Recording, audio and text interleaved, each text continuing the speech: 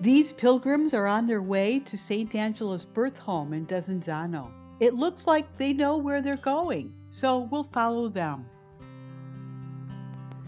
This sign tells us that we're on the right street, St. Angela Merici Street.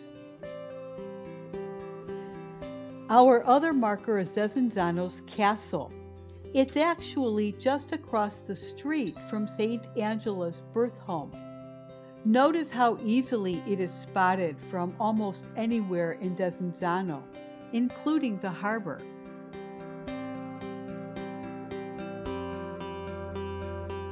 This street sign tells us we're headed in the right direction, Castle Street.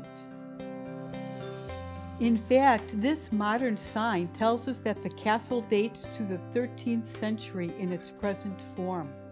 It's actually built over a much more ancient Roman fort, originally constructed to protect the local population from barbarian invaders. After we visit Angela's birth home, we'll also take a quick peek inside the castle to catch some amazing views of Desenzano and Lake Garda. In this photo, taken from the castle itself, you can see Angela's birth home on the lower right.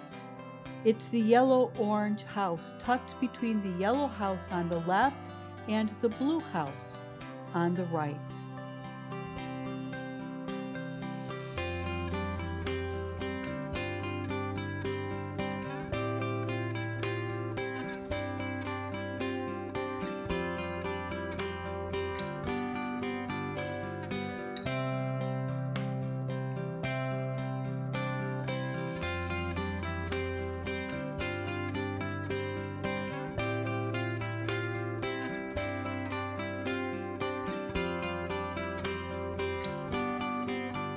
Just a little up this street is St. Angela's birth home.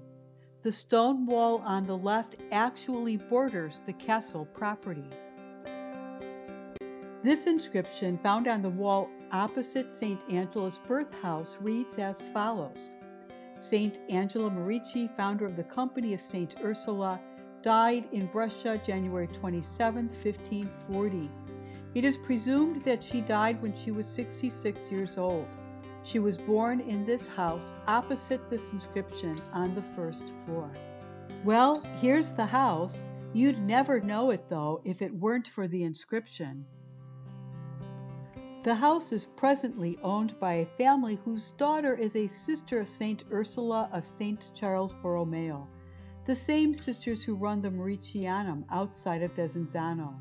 Their daughter works in Rome at a home for handicapped children. The inscription says that Angela was born on the first floor. But don't think of this as the first floor. In the Mediterranean world, this is the ground floor, and the next floor up is the first floor.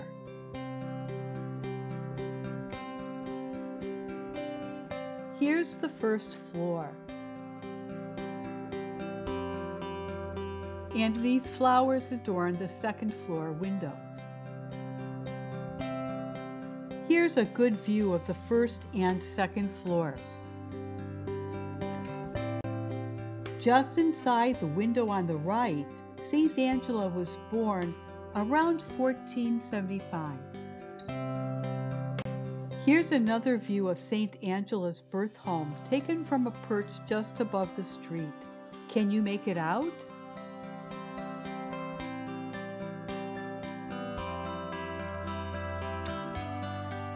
Let's make our way to the castle now. It offers some phenomenal panoramic views of Lake Garda and its coastline.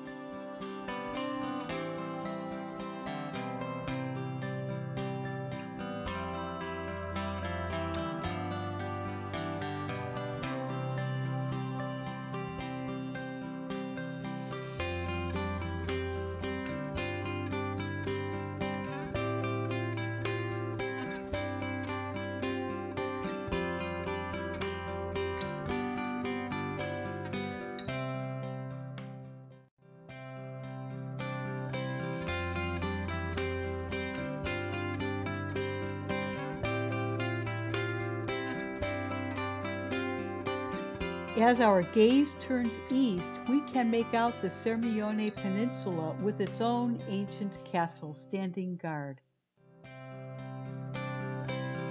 It's time to leave now. Come with us to La Grezze, St. Angela's childhood home, as well as to Salò and Brescia.